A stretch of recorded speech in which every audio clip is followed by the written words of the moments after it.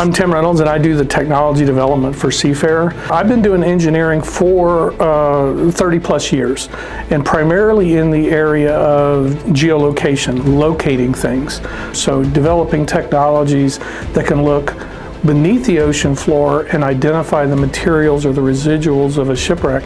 Well, everybody hears about the Treasure Coast, which are the remnants of a single fleet of ships, which was from 1715. What we're actually looking for is of that particular fleet in Melbourne area, there are multiple ships that sank at sea and were never found. And those have never been salvaged, those have never been um, even found, and we're on the track of at least one of those shipwrecks now. To, to learn that the Spanish have basically raided South Middle America for 300 years and then shipped um, all this treasure gold from Cuba at the end of the day to, to Spain. And then one out of 10 ships wouldn't make it is what kind of brought my attention to this whole story. A lot of people think a shipwreck you, you dive and, and the shipwreck is just sitting there on the ocean floor. But in 300 years, that shipwreck has actually melted into the ocean floor. So if you stripped away all the water and swam and walked along the ocean floor, um, you wouldn't see a shipwreck. Um, if you think about it, a regular treasure hunter, um, they have a wreck, they have one wreck, and they dig up this one wreck for five years. And after five years, they either broke or they made it.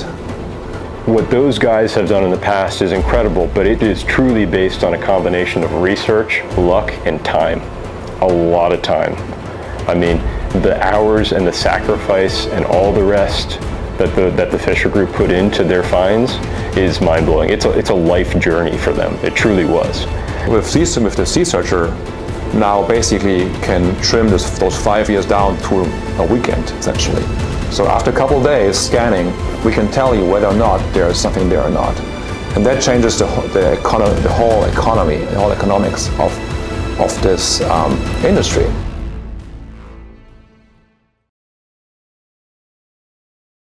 One of the ways that Seafarer is, is changing the game is a, a person who believes they found a shipwreck could work that shipwreck site for years even decades, and never find anything.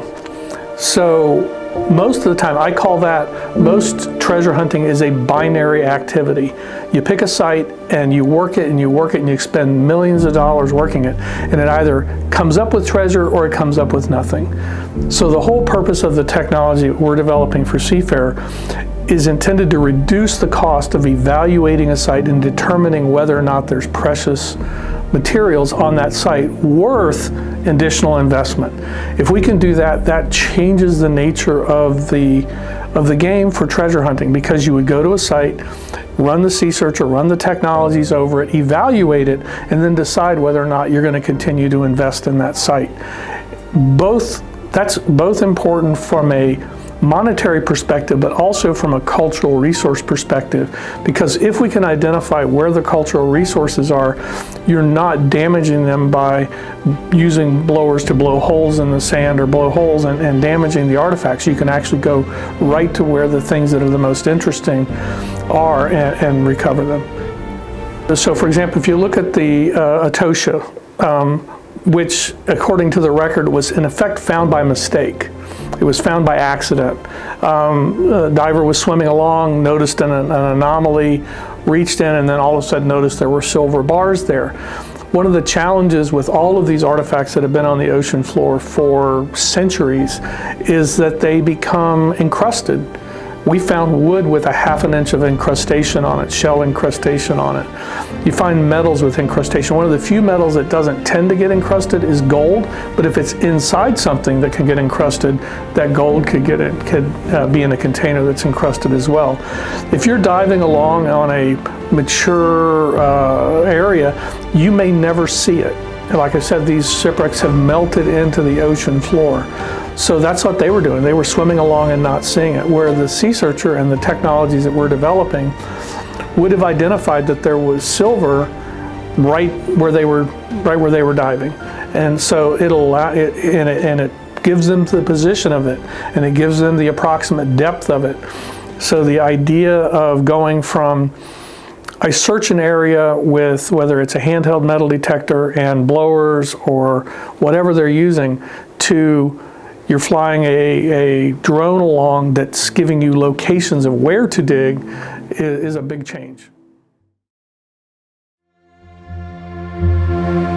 Seafarer is sort of it's sort of disguised as a treasure hunting company or a marine salvage company, but in reality, like I say, it's a tech company. It is 100% tech company. Companies that do this now, they try and salvage, you know, artifacts or things of value off of these sites.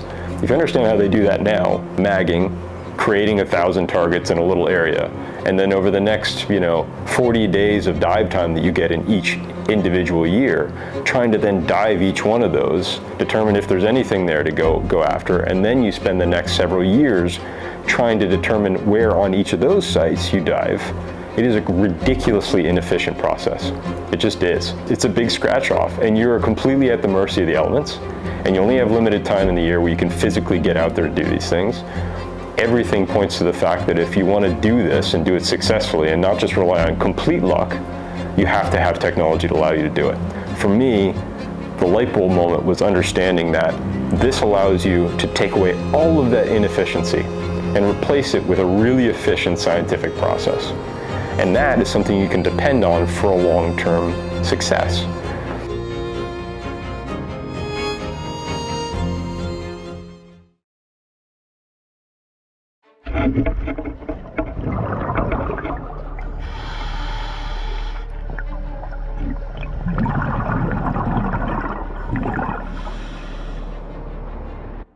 My name is Dante Volpe. I'm a uh, one of the main engineers that works here at Seafarer Exploration. I work on all the technology.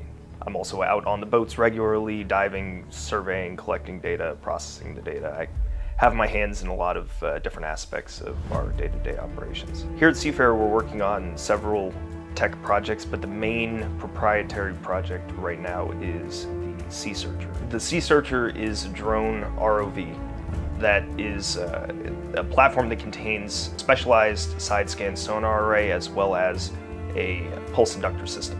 We use the Sea Searcher to identify and locate targets at and below the sea floor.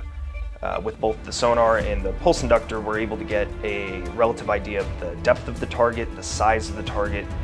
Uh, we can differentiate between certain metals as well as ferrous and non-ferrous uh, for those items. And th this is all done to give us a better idea and a better location on some of these targets so that we're not wasting time sending divers at arbitrary magnetometer hits that are just going to be iron targets. So we try to give our divers the best possibility of finding something of interest. Um, and we do that through our Sea Searcher technology. So ferrous and non-ferrous, when we're talking about it in this context, we're, the ferrous items are mostly identified by a magnetometer. They're going to be iron-rich or iron items. Steel will also show up.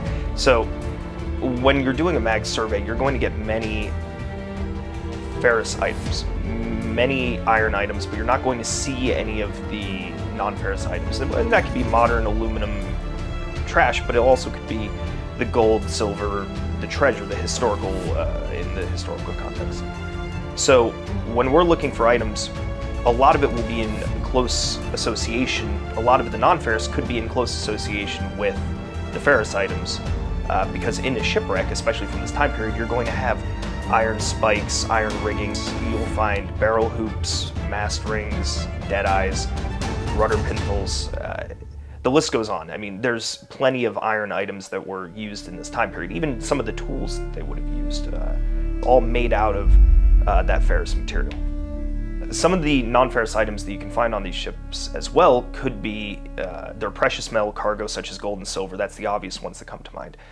But they also had various decorative items, depending on the class of ship and where it was from, that could be non-ferrous. Uh, some of these would be, you know, brass spikes, bronze fittings. Some cannons were made out of bronze. Um, and you'll have varying non-ferrous historic items that could help give us better context as to what type of ship it was and where it came from. So finding all of these items and differentiating between them is a very important aspect of what we do. So, so let's talk about Juno really quick. What's exciting about Juno? Oh, I can tell you. Go ahead. It is a massive wreck. This ship is huge.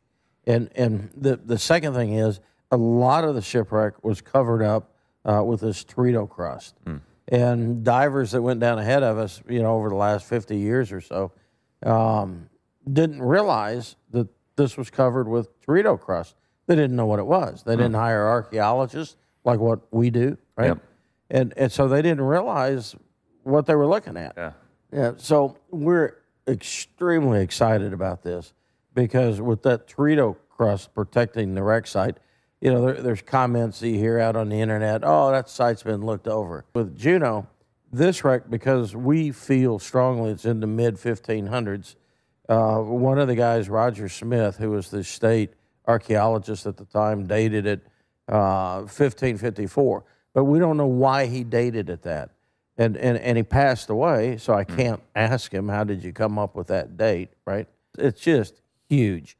And because it's the 1500s, you know, they were still killing the Incas and Mayas and Aztecs and all that kind of stuff, the Spanish were. And, and during this period of time, I think that uh, it potentially could have had Aztec uh, type uh, artifacts, like, you know, gods that they would pray to, uh, shields that they would wear maybe on their chest, or uh, bracelets and, and things like that that they would wear, or ornamental type stuff. And, and if it did have original, and I'm not saying it did because I don't know, okay, but that stuff would just be awesome to find. That that's all pure museum pieces. Right. And and that's certainly something we want to do is be able to show the world this.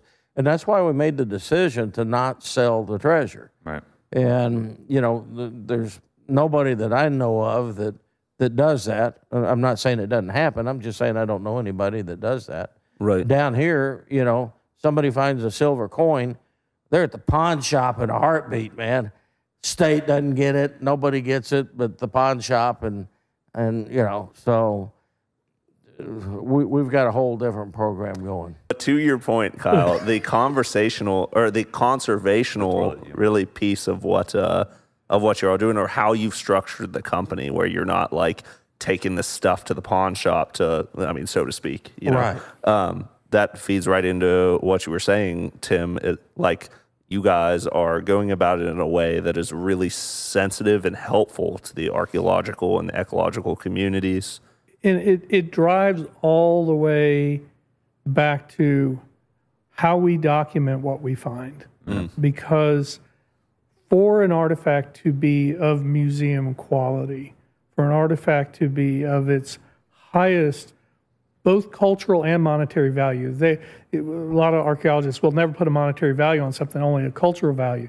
The cultural value and the monetary value are both optimized if you properly document the provenance of that artifact, how you found it, what it looks like, how you conserve it, and how you curate it. So you can't separate one from the other. We mm-hmm. have to do all those things at a very high level because if that artifact is never going to be taken to the pawn shop, never going to be sold for its gold weight, which is really what they wind up selling them for usually, not much more than that. It, you, we have to do all that stuff. Right. And a lot of folks don't take that into account when they're the traditional treasure hunting isn't mm. like that. So so we are, you know, far more of a or you know archaeological exploration and conservation than we are uh, to that ilk than a, than a treasure hunter.